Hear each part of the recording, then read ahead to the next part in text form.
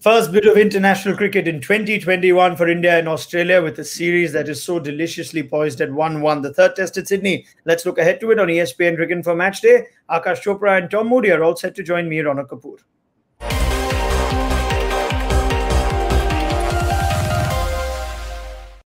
Right, gentlemen, a very happy new year to you both, but it's the same old story as far as uh, previewing test match cricket goes for us. Uh, we'll start with India's team, which now we're uh, getting used to being announced on the eve of the test. Two changes, Akash. Rohit Sharma comes in. You've been calling it from the beginning that Rohit will always play once he's available. And uh, also a debut for Navdeep Saini instead of Umesh Yadav. Just take me through those changes very quickly. No surprises, but Rohit for Mayank Agarwal. Do you feel a little bit for Mayank Agarwal?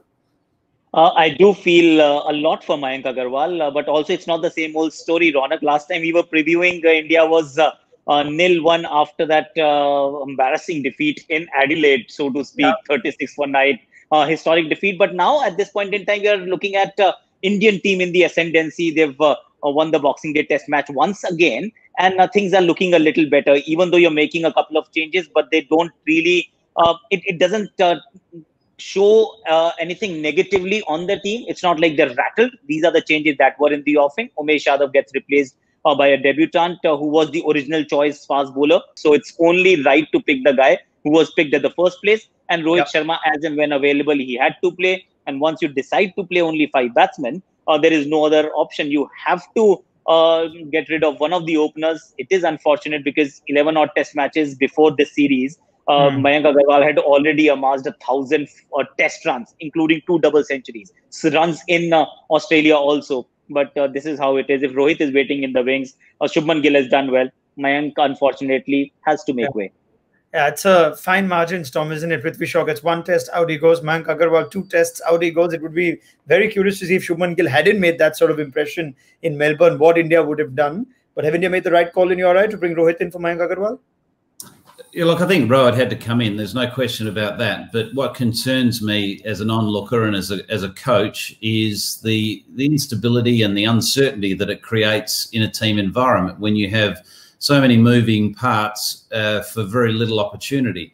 Um, Agarwal's got a tremendous, uh, you know, career so far in Test cricket. Yes, he's he's had a slow start to this series, but I don't think you can really take too much from two Test matches.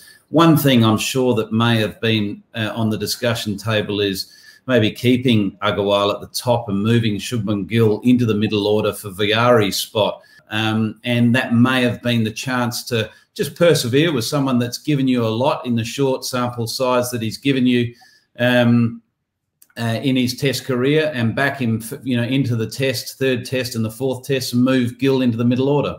Hmm. All right. Let's go into our uh, preview points now. We've already discussed India's team changes, but Rohit Sharma will feature, and so too will David Warner, which had certainly a lot more batting pedigree in terms of international experience and uh, stature goes to both sides. But can they hit the ground running? Let's go one by one. Akash, uh, Rohit playing a test after over a year, playing a test in one of the SENA countries in nearly two years. Just your thoughts on what it'll take for him to, uh, to get to hit the ground running.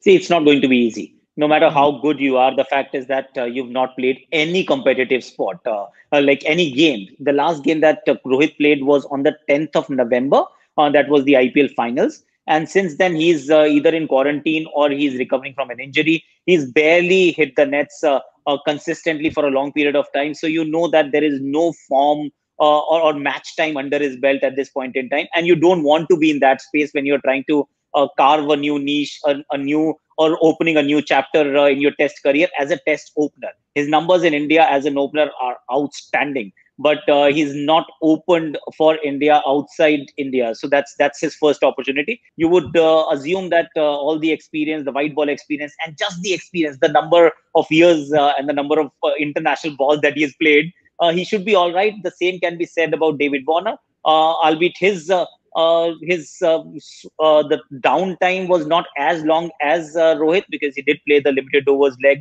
uh, at least some bit of it and got runs. Uh, so for David Warner, it might just be a little easier. also, the fact that it, these are home conditions and there is no uh, Umesh, there is no Shami, there is no Ishant. So it is a slightly depleted the Indian fast bowling attack as well. So maybe marginally easier for David Warner as compared to Rohit Sharma.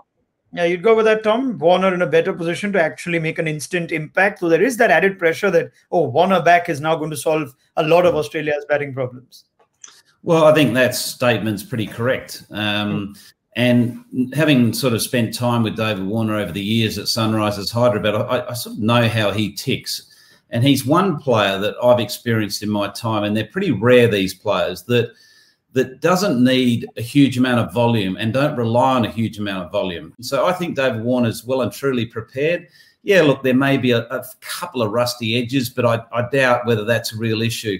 On the other hand, Rohit Sharma, look, I've never worked with Rohit Sharma, but he's certainly a special talent. But I would be more concerned about him. There's no question uh, that the absence away from the game, the, the, the journey he's had to take to get to this test match, uh, the quarantine and all the challenges, I think it's going to be hard work for him.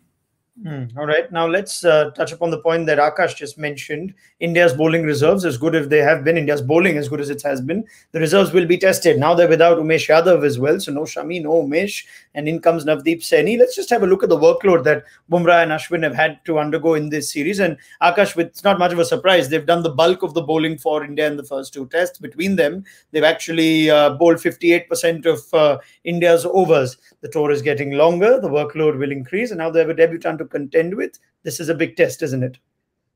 See, it is a big test, but the good thing is that there has been a seven, eight day break between the second and the third test match. So, uh, yes, you've bowled a majority of overs uh, between these two guys, but uh, uh this is the third test. The series is uh, on the line, so you would expect them to once again shoulder a lot of burden. Uh, so that is going to be the case for these guys. Uh, the two youngsters, whatever they bring to the table, it's fantastic. It's bonus, but don't expect uh, or don't actually hinge your hopes that uh, these two guys are going to give you two fifers and this is how you're going to win a test match. Uh, one is playing his second and the other is making his debut.